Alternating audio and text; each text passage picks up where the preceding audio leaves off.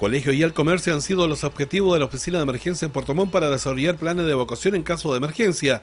Sobre todo los esfuerzos apuntan a aquellos recintos cercanos a la costa y donde es necesario conocer los procedimientos para escapar a zonas seguras en caso de sismo o posterior tsunami. Estamos revisando planes de evacuación, estamos asesorando a las unidades educativas y también del comercio de Puerto Montt para poder eh, colaborar con la UNEMI en un gran eh, simulacro eh, voluntario, por supuesto, a finales del mes de noviembre de este año.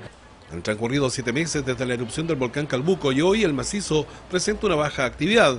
Ello, sin embargo, no significa bajar la guardia en torno a su permanente vigilancia.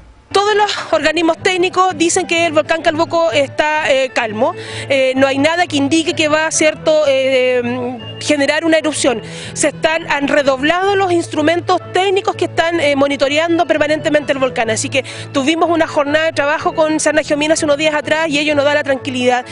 don Hugo Moreno, que es uno de los, si no el mejor, uno de los mejores vulcanólogos de Chile, está a cargo ahora de la unidad regional de Geomina en Puerto Vara y permanentemente con él estamos trabajando todas las acciones que nosotros hemos emprendido en materia de seguridad eh, ante riesgos eh, o emergencias están siendo asesoradas por él. Así que tenemos la tranquilidad que hemos tomado las medidas de trabajo. En un país sísmico como Chile se debe siempre estar preparado y contar con elementos básicos como una radio a pila, linterna y agua para sobrellevar lo mejor posible un evento.